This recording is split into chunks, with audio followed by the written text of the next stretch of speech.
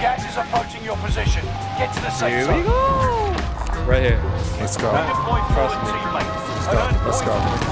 Let's go.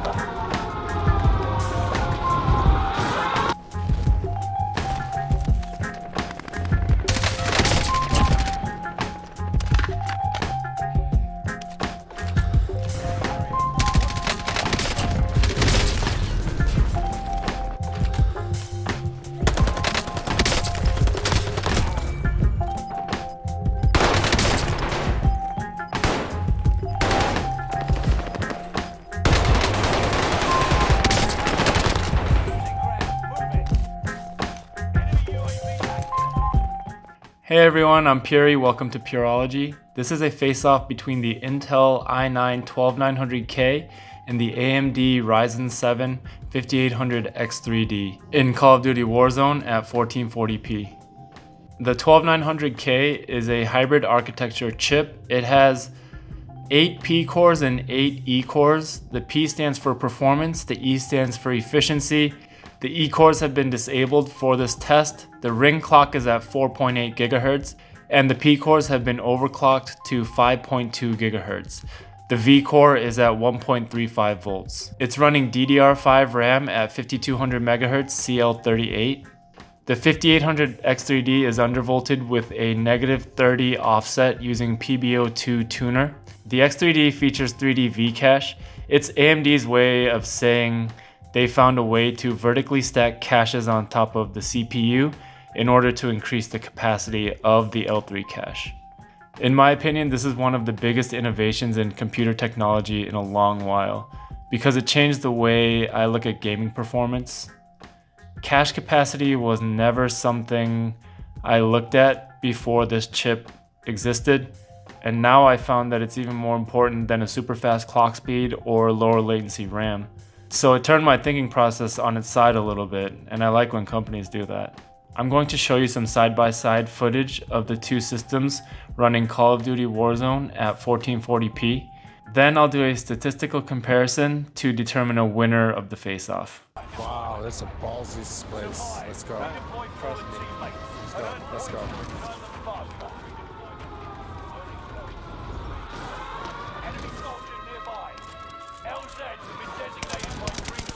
No gun here.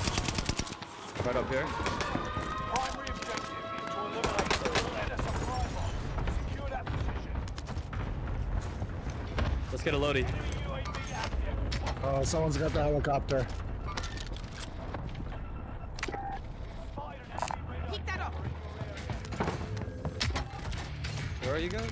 Oh, there you are. Darling.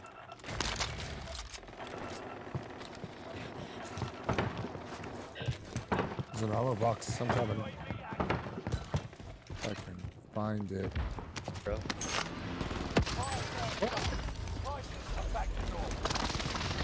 Uh, precision. Oh, I know where he is. Just a precision weapon. Find a safe spot. Coming. Someone's after me. Time expired. Oh, Target's be been true. lost. Guys, I was sniping. Wait, where the? Inside. Oh, Right below you. I can see name. Alright, so looking at the numbers, the 5800X3D has the advantage in FPS average and max by about 10%. It leads in the FPS minimum category as well by about 20%, and it falls behind the 12900K on the FPS 1% low and the FPS 0.1% low by about 20% in both of those categories as well. This is kind of what I've seen with Ryzen chips. There are a lot of peaks and valleys in Warzone performance. Alright, now let's see the power draw and the temperatures for the CPU and GPU. The 5800X3D was at 78 watts while the 12900K was at 115 watts. So that's a 37 watt difference. The temperature for the 5800X3D was at 61 while the 12900K was at 76. That's a 15 degrees Celsius difference in operating temperatures. That's pretty significant to me. In terms of GPU temperature, on the 5800X3D it was at 71, on the 12900K it was at 76.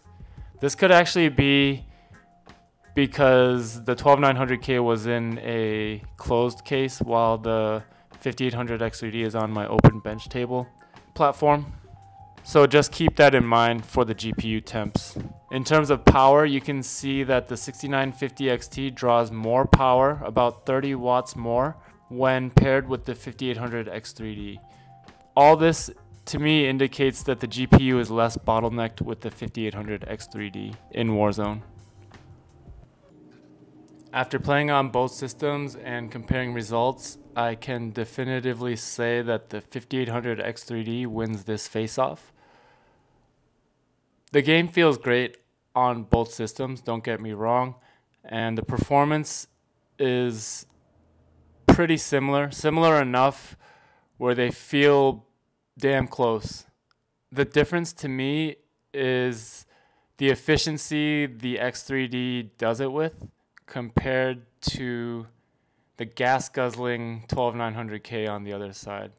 There's no doubt that the 12900K can get pretty close to the performance of the 5800 X3D and who knows, maybe even better performance with the right tuning.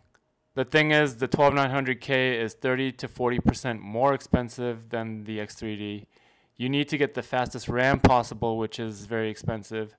Then you need to spend time tuning down the timings on the RAM, which is time consuming. Then you'll need to tune the overclock on the processor itself. Then you'll need extreme cooling in order to maintain those high clocks that the 12900K can achieve. When you compare this to the 5800 X3D, you can pair a 5800 X3D with a B550, let's say, and the slowest RAM you can find, and it will probably outperform that 12900K or be on the same level straight out of the box. So, will they be close in performance? Yes. Is the 12900K bad? No. The the 5800 X3D is just that much better it's like comparing an old big block V8 to a modern turbocharged engine. The V8 needs to burn way more fuel to match the performance of a modern turbo engine. And can the V8 sort of match it in terms of outright performance? Yeah, maybe if you give it enough displacement and make it burn a ton of fuel. But the efficiency gap is what makes the V8 obsolete now. And in my view, the 12900K is that big block V8, and the 5800 X3D is that new modern turbocharged engine that's going to make the V8 obsolete. Hey everyone, this is Pyurii. Well, this is a face-off between the i9. I'm I'm going to show you some side by the and uh, the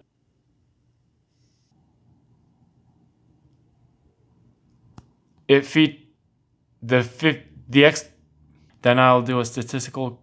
Then I'll do a statistical. Then I'll do a statistic.